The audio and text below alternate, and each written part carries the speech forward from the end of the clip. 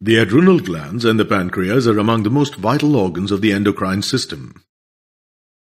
The human body contains two adrenal glands.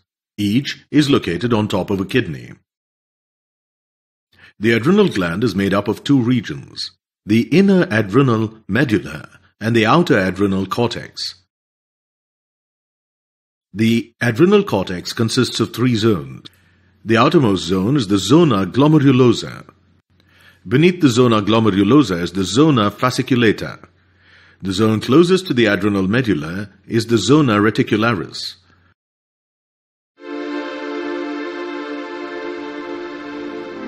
The pancreas is a leaf-shaped gland which is located behind the stomach. The wide region of the pancreas, which is close to the duodenum, is called the pancreatic head.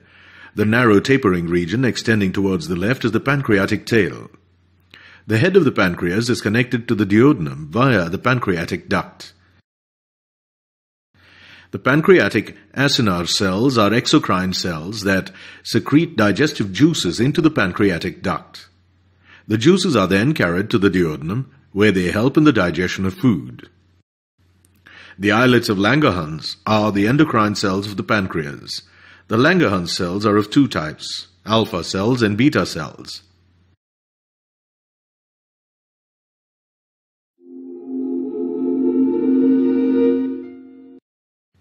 The different regions of the adrenal gland secrete different hormones.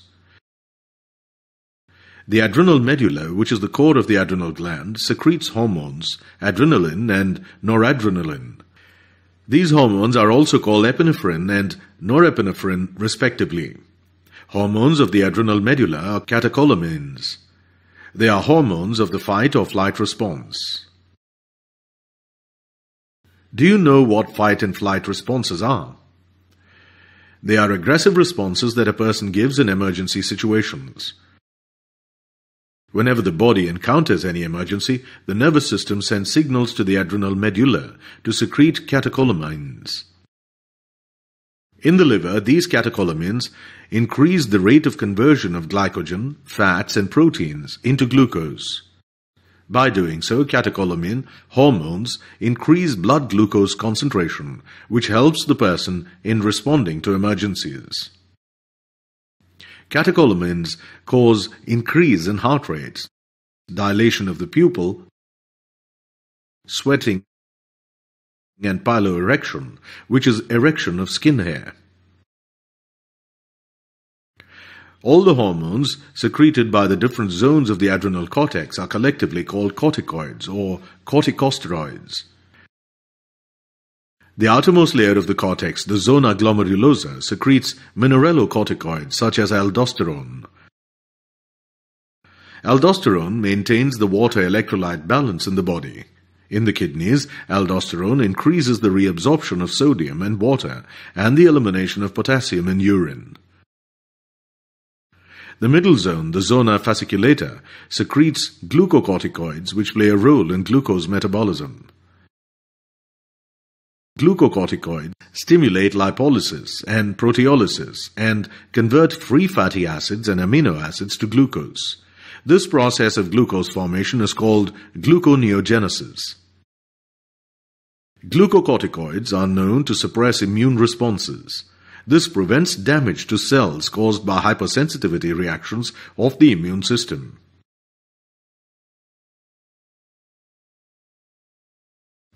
Did you know that inhaling devices used by asthma patients contain glucocorticoids?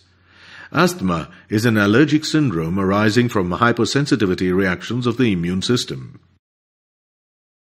The innermost layer of the adrenal cortex, the zona reticularis, secretes adrenal androgens which regulate the development of sex organs and secondary sexual characteristics in males.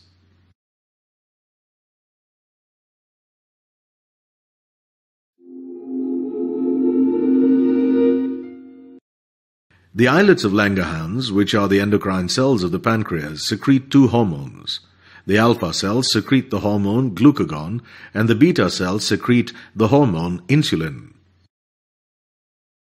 The hormone glucagon, released by the alpha cells of the pancreas, is a hyperglycemic hormone. That is, its action increases the levels of blood glucose. Glucagon acts on the liver and breaks down glycogen stored in the liver to release glucose units into the blood. This is called glycogenolysis. Simultaneously, glucagon also favors the process of gluconeogenesis, that is, the production of glucose from non-carbohydrate moieties such as proteins and fats. It reduces the uptake of glucose by the cells, thus maintaining high glucose levels in the blood. Remember that catecholamines secreted from the adrenal medulla also increase blood glucose levels. However, they do so only to prepare the body for physical activity during stress. Catecholamines show other physiological effects too. They increase the heart rate and blood pressure, whereas glucagon solely aims at maintaining blood glucose levels in the body. Exactly converse is the action of the hormone insulin, which is a hypoglycemic hormone. Its function is to lower blood glucose. In the liver, insulin stimulates the conversion of glucose into glycogen. This process is called glycogenesis. In the adipose tissue, insulin stimulates the conversion of glucose into fats. Hormone insulin maintains low blood glucose levels as it encourages glucose uptake by the cells. Thus, both these hormones of the pancreas play a major role in maintaining blood glucose homeostasis within the body.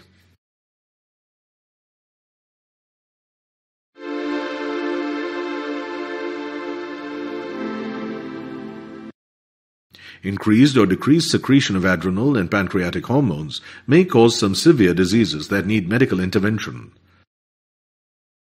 Hyposecretion or reduced secretion of corticosteroids, especially glucocorticoids, causes Addison's disease.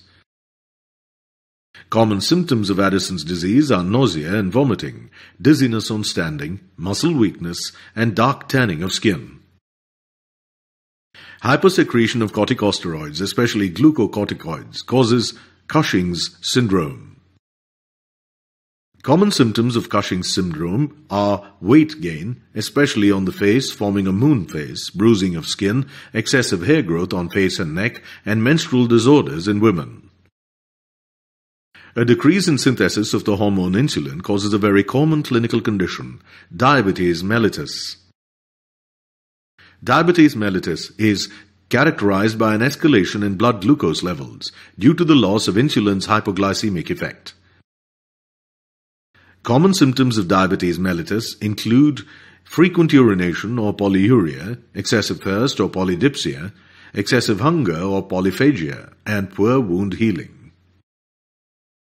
In spite of having high blood glucose levels, do you know why diabetic patients feel hungry?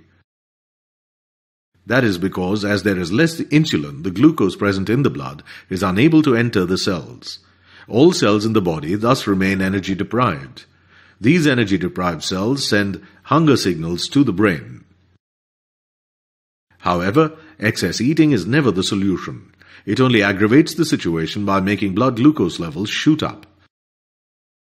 Diabetic patients with high blood glucose levels are therefore administered insulin that stimulates glucose uptake by cells and thus decreases blood glucose levels. Diabetic patients also need to take necessary precautions such as regular exercise, cutting down sugar intake, and adopting better dietary practices so as to combat this serious disease.